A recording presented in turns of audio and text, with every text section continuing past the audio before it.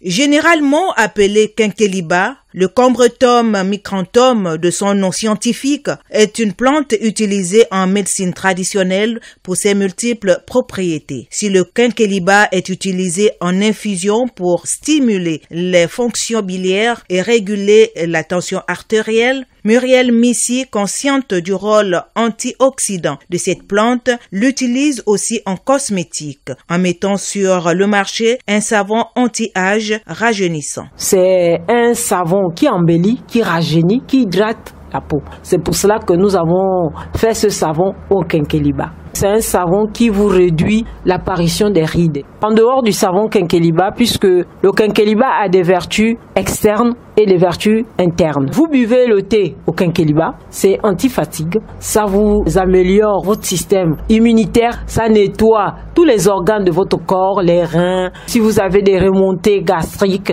ce thé sera consommé par infusion. Le quinqueliba aurait des propriétés spirituelles. Selon le pasteur Boussougou, les feuilles de cette plante participerait au désenvoûtement des personnes tenues en captivité spirituelle. Le quinquiliba participe même à la délivrance. Le quinquiliba participe même au désenvoûtement. Imaginons quelqu'un qui est envoûté. Vous prenez le quinquiliba, vous prenez l'isope.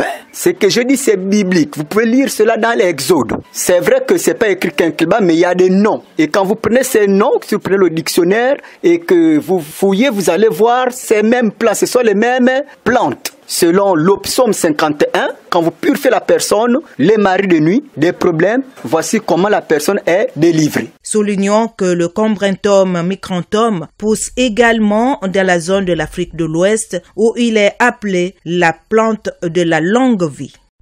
Vous êtes câblé sur Radio Gabon émettant de Libreville 88.7, 96.5 FM.